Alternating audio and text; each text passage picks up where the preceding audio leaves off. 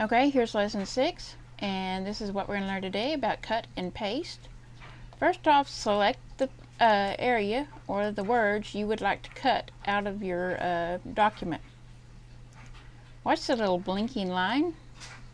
Click in front of it, hold your left mouse button down, hold, keep holding it, and drag it over the selection you wish to change.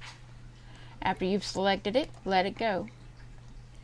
Now there is a button right up here. It looks like a little pair of scissors.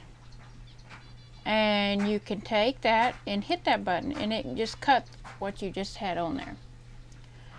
Okay, we want to put this in a different place. We can go to a line right here under milk. Now, of course, it automatically put our number. We don't want a number here, so I'm just going to just backspace there um, I get it back to the beginning here.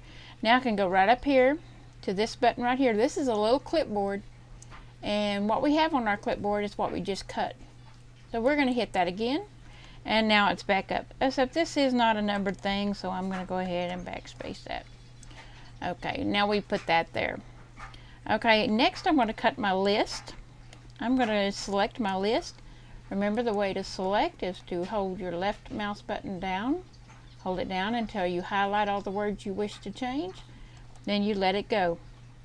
Go back up here to your little scissors, cut, and now this is uh, been cut onto your clipboard.